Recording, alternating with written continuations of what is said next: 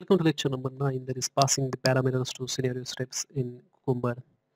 In this lecture you will learn how to pass the parameters to the step methods and also you will learn what is the importance of the parameters.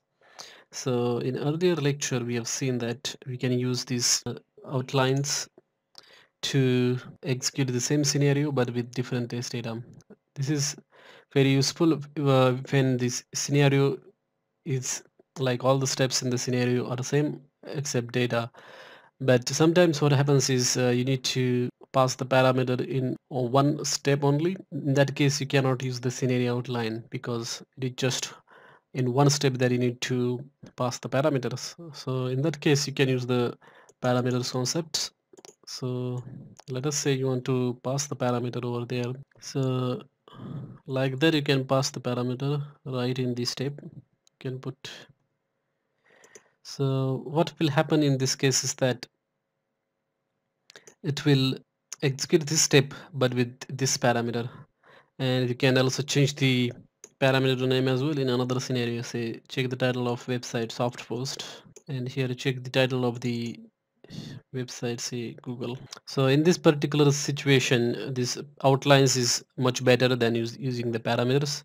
But uh, just to tell you the how we can use the parameters i'm just uh, saying that instead of softpost you can use this google.com and over there you can put google.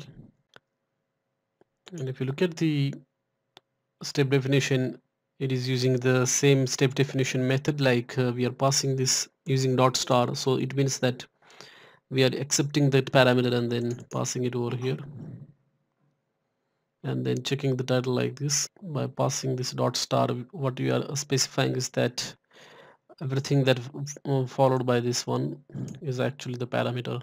And then we are passing that parameter actual parameter over there so if you execute this particular scenario what will happen is it will go to this softpost.org and then check that the title of that page is contains tutorials. So also notice that uh, I need to do pass the parameter in double quotes not in the brackets. In the outlines we use the brackets but in uh, while passing the parameters we use the double quotes around the parameter that you want to pass. And this step has failed. So let us see what is failed cannot navigate to invalid url so here it is saying that the steps uh, were not found.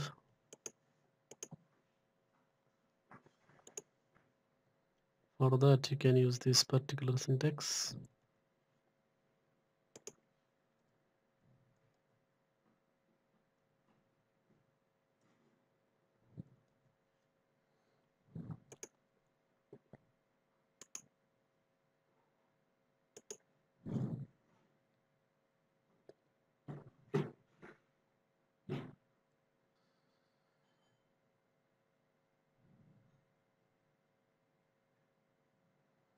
So you can notice that it went to softpost.org and then check the title of, uh, that contains tutorials. And then if you execute this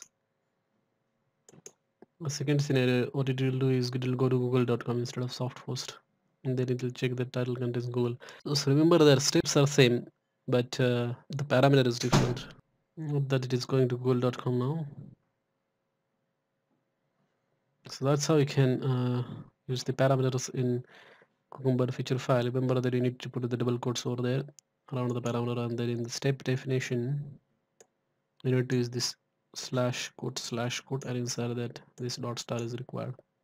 That will be accepted as parameter and then we can pass it or use it in the method like that. I hope you enjoyed this lecture and uh, stay tuned for more lecture on this